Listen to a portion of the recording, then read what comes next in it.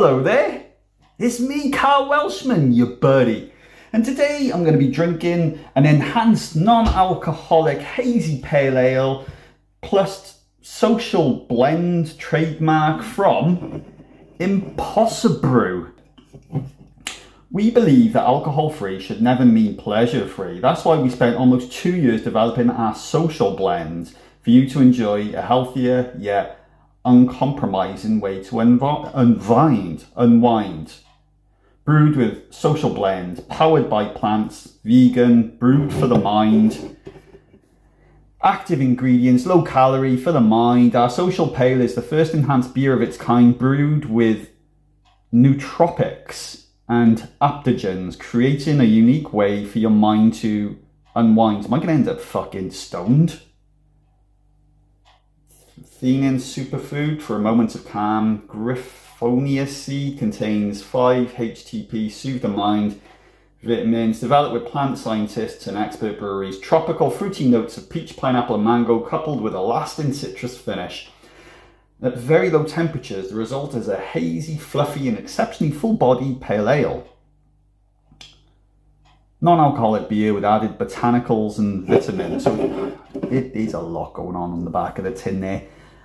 Um, I'm going to do this in two parts. I'm going to uh, do a little initial taste test and then I'll come back and let you know whether I feel any sort of effects whatsoever. I've not had any al al alcohol today. I've had no alcohol. Pop this open, a little bit of smoke from the tin there. Usually get that from an alcoholic beverage. Wow, it, it actually smells exactly like a pale ale. That's interesting. So it's got all of the, the sniffs and aromas of the tropicalness.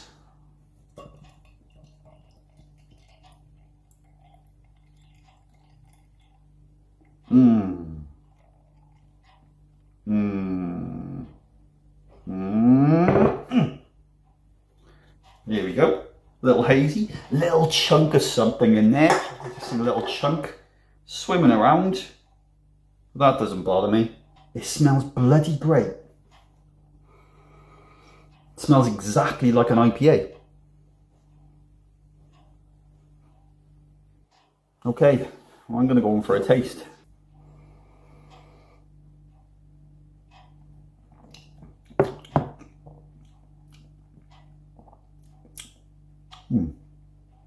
It's very floral.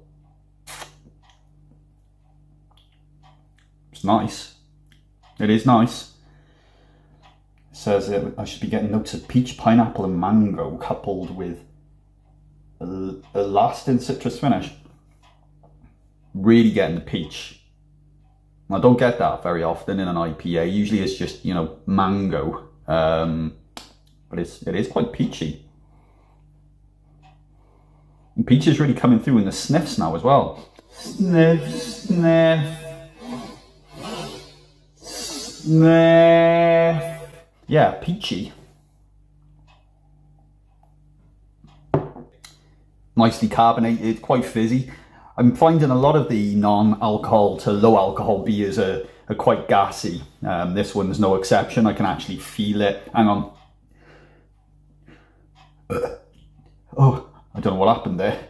Uh, oh, it just kind of stuck there. I, I got to be careful because I had a, um, a, a fried breakfast a good few hours ago, but I had quite a lot and I had a bit of bread and butter, so I made a couple of sandwiches. So I want to be careful that I'm not actually. Uh, let's have another have another little.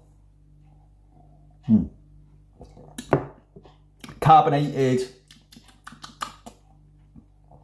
Do you know I, I've I've definitely had maybe a couple of session IPAs which are not too far off that sort of flavour and that kind of mildness, mild, mild, mildness, to be honest. So, um, yeah, that's, that's quite nice.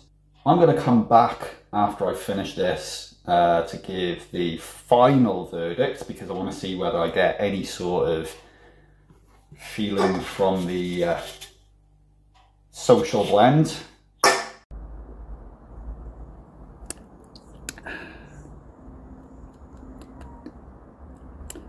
It's actually quite nice for a, a non-alcoholic beer. It's it's as close as I've had, I think, to a proper IPA flavour. Not getting any active ingredients from this yet.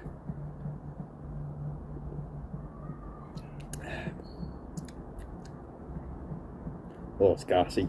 It's very gassy. It's kind of like um, it's not a citrusy finish. It, it, kind of feels almost like diluted, like diluted orange. Um, but like I can taste it here, not not in my mouth.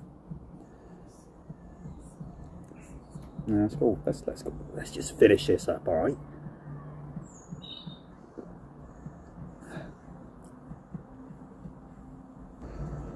I guess like alcohol, unless you're drinking something potent, it's going to take a bit of time for there to be any sort of an effect. So um, I'll be back in about 10 minutes and we'll uh, we'll see if, if there's any sort of social feeling because you know social blend I should be feeling sociable I finished the uh, glass of Impossibrew beer um, I don't feel any more social. I feel a bit sleepy, but that might be because I was sitting out in the sunshine there and it is flaming boiling out there. Proper boiling.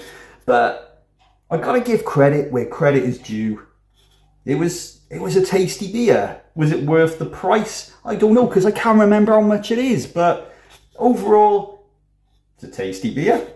Um, particularly for an alcohol-free beer, it was quite close to an IPA, so um, I'll give it that.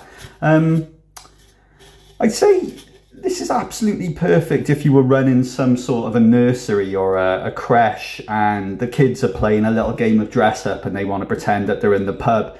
You just pop open a couple of cans of Impossibrew, pour it into their little beakers and let them have a little sip, sip, sip like that.